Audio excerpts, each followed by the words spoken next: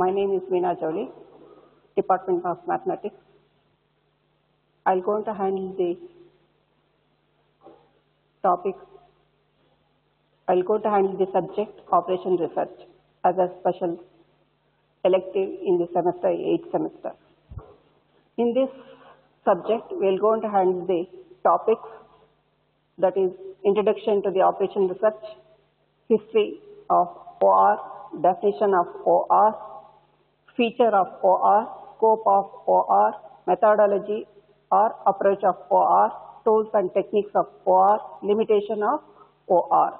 In the introduction of OR, Operation Research is a systematic and analytical approach to decision making and problem solving. OR is a branch of applied mathematics that uses a technique and statistics to arrive at an optimal solution to solve the complex problem. It is typically concerned with the determining the maximum profit, sale, output, crop yield and efficiency and minimum loss, risk, cost and time of some of the objective function. It has also become an important part of engineering profession. Some of the primary tools used by OR are statistics, game theory, probability theory, etc. Of OR. The subject was evolved at a time of World, World War II. Definition of OR. It is an act of winning a war without actually fighting. The another way of defining is it is a scientific approach to a problem solving for executive management.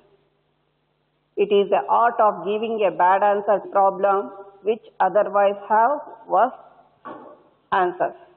Features of OR are decision making, scientific approach, interdisciplinary team approach, system approach, use of computer, objectives and human factors.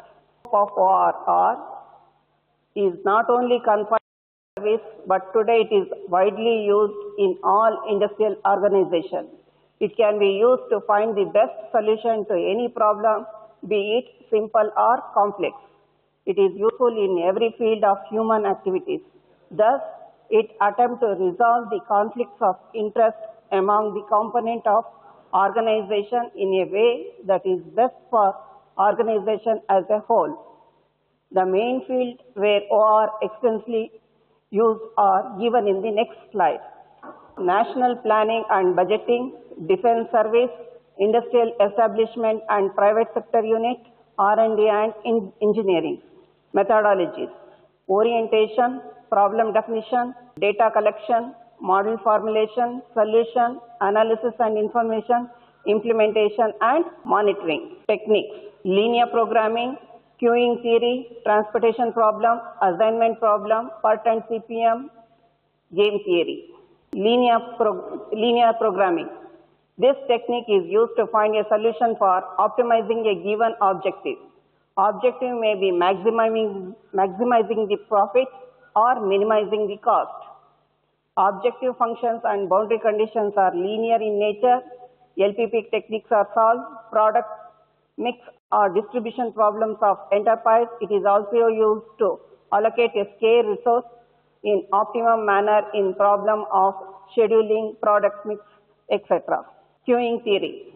This theory deals with a situation in which queue, is formed. Example, customer waiting in for services, machine waiting for repairman and aircraft waiting for landing stripes, etc. If the queue will be long, the cost will be high due to long waiting hours. This technique is used to analyze the feasibility of adding the facility and to access the amount and cost of waiting time. This calculation can then be used to determine the desirable number of service facilities. Transportation problem. Transportation problem deal with transportation of a product from a number of sources with a limited supply to a number of destinations with specified demand at the total transportation cost. The main objective of transportation is to schedule the shipment from source to the destination in a, such a way so as to minimize the total tra- transportation cost. Assignment problem. It is a specific type of linear programming problem. It is deal in allocating the various rows or item to various activity in one-to-one basis in such a way that the time or cost involved in minimized and the sale or profit is maximized.